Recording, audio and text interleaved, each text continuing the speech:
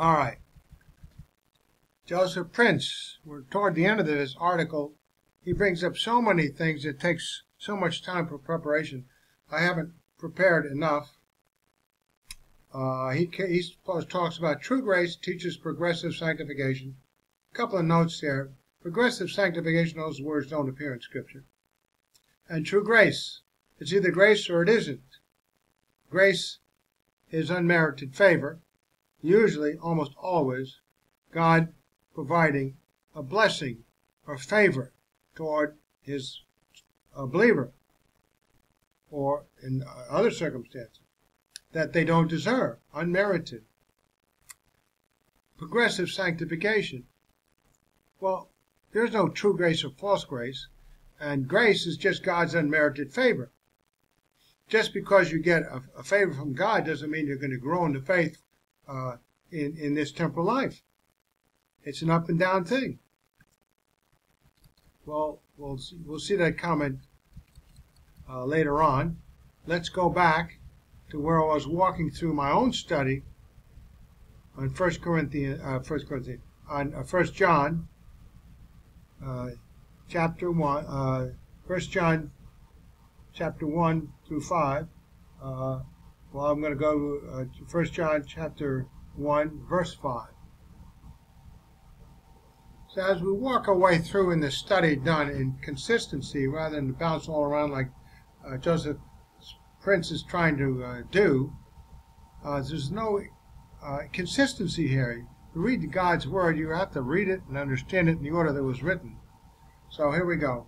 We've worked our way down 1 through 4. Here's 1 John 1 5. In verse 5, John emphasized an extremely important point about the message of how to have fellowship with the apostles and with God the Father and his Son Jesus Christ. That God is light, and in him there is absolutely no darkness, no evil at all. On the other hand, God's light exposes his creation and reveals that man is inherently evil and cannot have fellowship with a holy God. A holy God who's absolutely righteous. So the fellowship each individual man could have had, could have, could only be through God's provision alone, whereby man, and it's grace provision, whereby man can be purified from all unrighteousness by God Himself. Okay, and this is the message we have heard from Him and declare to you that God is light, and in Him is no darkness at all. Oh, we have some manuscript discrepancies, but they're not, not consequential. In any case, relative to this verse,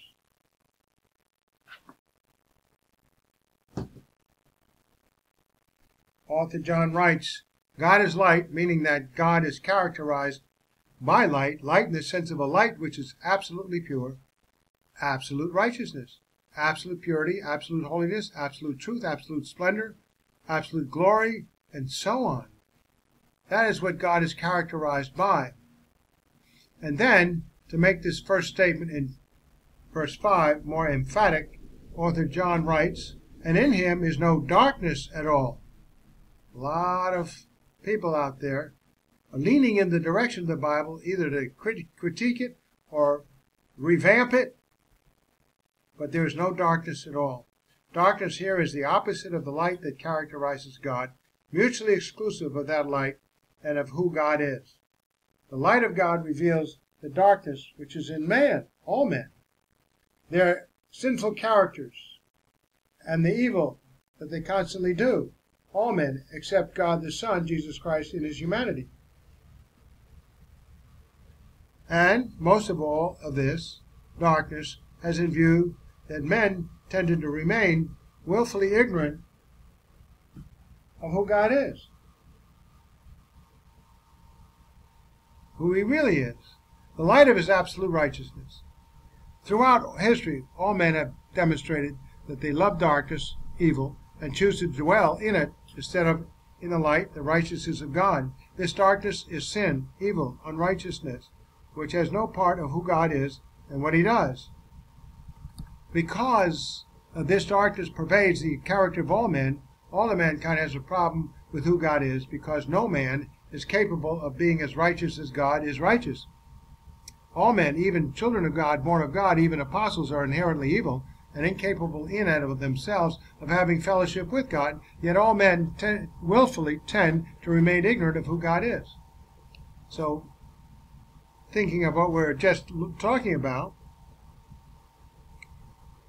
true, true grace teaches progressive sanctification. Well, that, that's not what 1 John 1 5 says.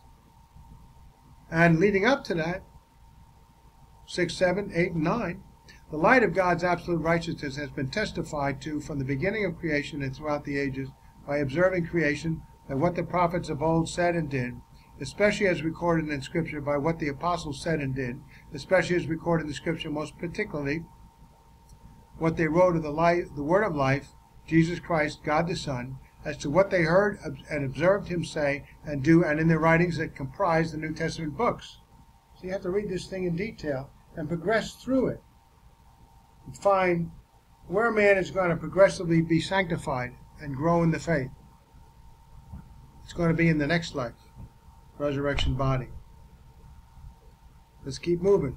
Two car, two compare John 3, 19 to 21. This is the judgment that the light has come into the world, and men love the darkness rather than the light, for their deeds were evil.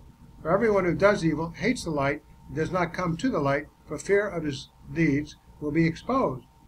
But the one thing, the truth comes to the light, so that his deeds may be manifested as having been accomplished by God.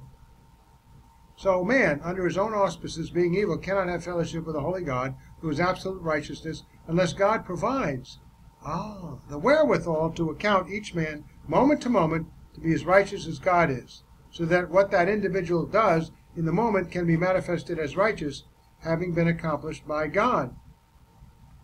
Isn't that where the grace of God works in?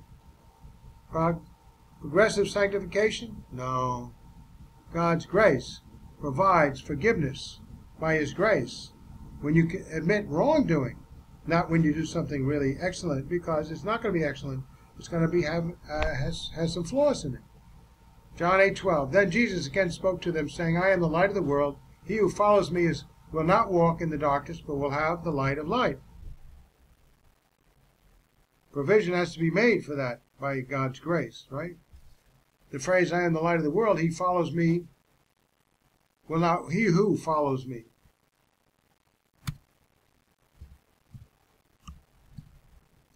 Will not walk in the darkness, but will have the light of light in the sense of believing in Jesus Christ for eternal life.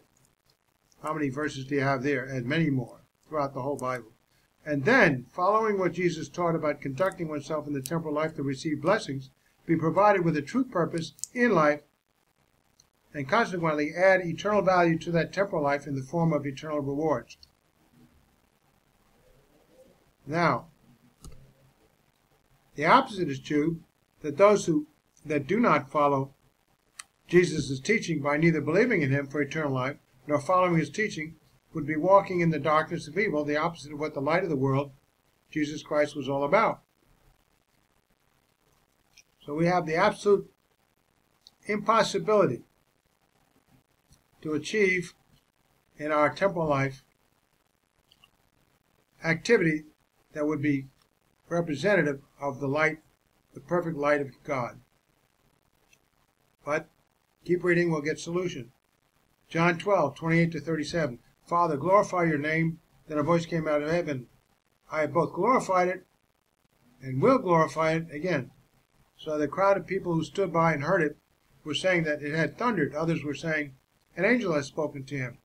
Jesus answered and said, This voice has not come for my sake, but for your sakes. Now judgment is upon the world. Now the ruler of this world will be cast out. And I, if I am lifted up from the earth, will draw all men to myself. But he was saying this to indicate the kind of death by which he was to die. Up on the cross. The crowd then answered him, We have heard out of the law that the Christ is to remain forever. And how can you say, The Son of Man must be lifted up? Who is this Son of Man? You read in the book of Daniel These guys, these guys are supposed to be experts in the Old Testament and are looking to throw rocks at him out of their ignorance, their unwillingness to accept and believe the truth. So Jesus said to them, For a little while longer the light is among you. Walk while you have the light, so that darkness will not overtake you. He who walks in the darkness does not know where he goes. While you have the light, believe in the light, so that you may become sons of light, characterized by God's absolute righteousness. How do you get that? By the grace of God, purified against. Uh, if, if we confess our sins, God is faithful and just to forgive us these sins and purify us you from all unrighteousness, as if you were a son of light in your experience for the moment till you sin again. These things Jesus spoke, and he went away and hid himself from them. But though he had performed so many signs before them, yet they were not believing in him. So by believing in the light, the Son of Man, the Christ, a moment of faith, and one has become a son of light in position, implying having possession of eternal life, having an eternal fellowship with the light, Jesus Christ. Eternal, but not moment to moment temporal. So 1 John 1 5 says that God is light, and in the sense that he reveals himself in and to his creation, and in so doing, it reveals the wickedness that is found in creation in all men, which is completely set apart who he is from who he is. Thus, it is in the very nature of who God is that man is inevitably exposed by the light of God as falling far short of his moral glory. The second phrase, 1 John 1 5, is a negative corollary to the phrase, first phrase, God is light. The second phrase is rendered, and in him is no darkness at all. The Greek literally says, and darkness is not in him, none. It has two negatives to make the message very emphatic. Although there are those who contend that there is darkness and evil in God, 1 John 1 5b says emphatically that there is absolutely no darkness, evil in God at all. In the paganism of the day, there was a mythology about the gods reflecting a capriciousness and willingness to do harm. Others contend that evil, as well as good, originated from the Creator, and so moral distinctions were invalid. But according to and throughout all of Scripture, which has no contradictions on this matter, and according to the experience of the uh, apostles who saw and heard him, touched him, listened to him, the Word of life, Jesus Christ, who is God, their accounts having been written down with contra without contradictions, in this matter there is no evil in God, only absolute righteousness. Deuteronomy 32, 3 to 4.